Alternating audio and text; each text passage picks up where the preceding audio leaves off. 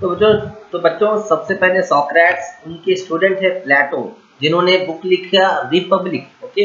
इसमें, इस Republic book में सबसे पहले इन्होंने स्टेट और स्टेट के बारे में और गवर्नमेंट के बारे में डिटेल्स के तौर पर लिखा। उनके स्टूडेंट, प्लाटो के स्टूडेंट है एरिस्टोटल, ओके? प्लाटो के स्टूडेंट कौन है? Aristotle, okay? एरिस्टोटल प्लाटो के स्टूडेंट है। इन्होंने इन्होंने भी एक बुक लिखी जिसका नाम है द पॉलिटिक्स। ओके?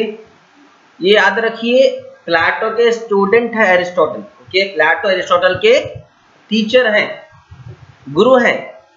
लेकिन अरिस्टोटल को फादर ऑफ़ पॉलिटिकल साइंस कहा जाता है। हैरान करने वाली बात। यहाँ पे एक सवाल पैदा होता है कि प्लाटो जब एरिस्टोटल के टीचर हैं तो प्लेटो को अरिस्टोटल से ज़्यादा नॉलेज होना चाहिए। ज़्यादा प्रिफरेंस होना चाहिए, ठीक है? जब प्लाटो एरिस्टोटल के स्टूडेंट है तो फिर प्लाटो को फादर ऑफ़ पॉलिटिकल साइंस क्यों नहीं कहा जाता? जबकि एरिस्टोटल जो कि प्लाटो के स्टूडेंट है उन्हें फादर ऑफ़ पॉलिटिकल साइंस कहा जाता है। क्यों? वजह यह है बच्चों, कि एरिस्टोटल ने पॉलिटिकल साइंस के लिए बहुत वर्क किया है कंट्रीब्यूशन दिया है, ठीक है?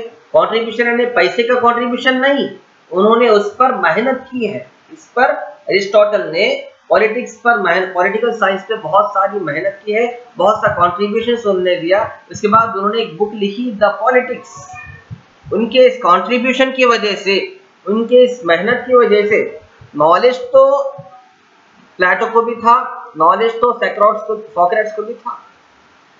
लेकिन नॉलेज को इम्प्लीमेंट करके उस पर मेहनत करना ये बहुत बड़ी बात होती है। ठीक है? फॉर एग्ज़ाम्पल बच्चों, आप लोग स्टडी करते हैं, ठीक है? आप लोग स्टडी करने के बाद जब आप टेंथ पास टेंथ स्टैंडर्ड के बाद आप यूसी फ़र्स्ट ईयर सेकेंड ईयर पढ़ने के बाद आप डिग्री पढ़ते हैं, ठीक है? फॉर एग्ज़ाम्पल आपने इंजीनियरिंग की है इंजीनियरिंग करते हैं आप। आप इंजीनियरिंग कर लिए, आपने इंजीनियरिंग का नॉलेज गेन कर लिया, ठीक है? फोर इयर्स आपने इंजीनियरिंग पढ़ के इंजीनियरिंग का नॉलेज गेन कर लिया। अगर आप सिर्फ़ नॉलेज गेन करके आप खामोश बैठ जाएँगे तो आपको इंजीनियर तो कहेंगे, लेकिन प्रैक्टिकल इंजीनियर नहीं कहेंगे, बेहतरीन इंजीनियर नहीं नहीं कहेंगे, ठीक है? आपका नॉलेज आप इस्तेमाल करके उस फ़ील्ड में अगर आप वर्क करें तो जब आपको इंजीनियर कंप्लीट परफेक्ट इंजीनियर कहा जाता है। सिर्फ़ डिग्री ले लेने से कोई भी परफेक्ट इंजीनियर नहीं बनता।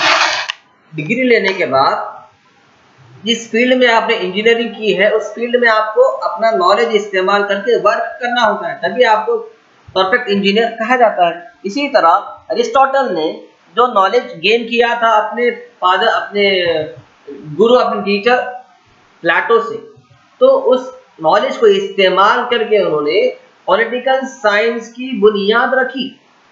पॉलिटिकल स्टडीज़ की बुनियाद रखी, उसके लिए, उसी के लिए उन्होंने एक बुक लिखा था पॉलिटिक्स इनके इस मेहनत की वजह से उन्हें the father of political science कहा जाता है। इसी तरह तो अरिस्टोटल के साथ साथ और एक इकोनॉमिस्ट है और एक पॉलिटिकल थिंकर है जिसका नाम है कौटिल्य ठीक है? इन्होंने भी एक बुक लिखा जिसका नाम है अर्थशास्त्र। ओके? कौटिल्य ने भी अर्थशास्त्र नाम की बुक लिखा।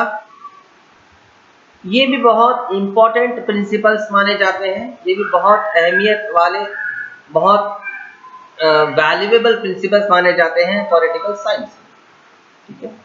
अब आइए देखते हैं ग्रीक जो इकोनॉमिस्ट और फिलोसफर्स थे, उन्होंने पॉलिटिक्स वर्ड को यूज़ क्यों किया, इस्तेमाल क्यों किया? पॉलिटिक्स का उन्होंने डेफिनेशन क्या समझा? तो एंशियंट ग्रीक में स्टूडेंट्स एंशंट ग्रीक पुराने दौर के ग्रीक के जो फिलोसफर्स थे, वो लोग स्टेट को स्टडी करने के लिए स्टेट की गवर्नमेंट को चलाने के तरीके को समझने के लिए पॉलिटिक्स वर्ड्स वर्ड यूज़ करते थे, ठीक है? पॉलिटिक्स वर्ड निकला है डिराइव किया गया है ग्रीक वर्ड पॉलिस से P O L I S polis इस वर्ड का मीनिंग है सिटी स्टेट ओके मतलब ये कि वो पूरे कंट्री को एक सिटी की तरह समझते थे और उसके ज़रूरियात, उसका गवर्नमेंट उस उसमें गवर्नमेंट किस तरह चलाना है, वो उसके स्टडी को वो लोग पॉलिटिक्स कहते थे अब हमारे इंडिया में मॉडर्न दौर में, इसी पॉलिटिक्स को पॉलिटिकल साइंस कहा जाता है। ठीक है?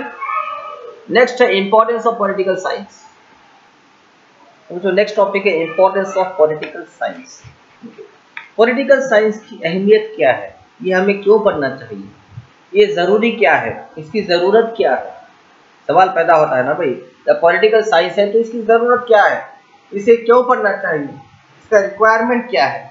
तो बच्चों, ये political science every Indian Indian citizen के लिए पढ़ना बहुत ज़रूरी है। क्योंकि इसमें सबसे पहले एक्टिविटी हमने क्या पढ़ा था कि हम वोट देते हैं।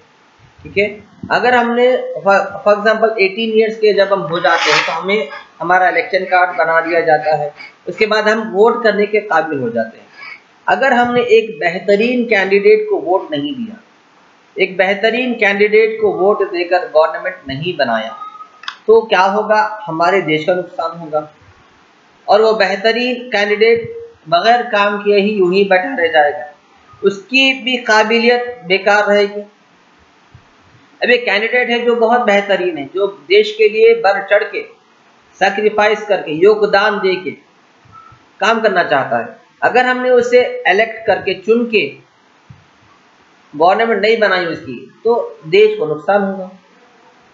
तो या फिर अगर हमने किसी को वोट दिया ही नहीं, ठीक है? अगर हमने किसी को वोट ही नहीं दिया तो आपके वोट ना देने की वजह से कोई एक बेकार इंसान गवर्नमेंट बना सकता है। वो इंसान जो, जिसके दिल में भलाई करने का जज्बा जिसे सिर्फ़ दौलत के लिए गवर्नमेंट पॉलिटिक्स में आना है, जिसे सिर्फ़ पैसा कमाने के लिए गवर्नमेंट कायम करना है, ऐसा अगर कहा गया तो आपको नुकसान होगा। ठीक है? तो इसलिए हमारे इलेक्शंस के राइट्स क्या है? हमारे गवर्नमेंट किस तरह होनी चाहिए?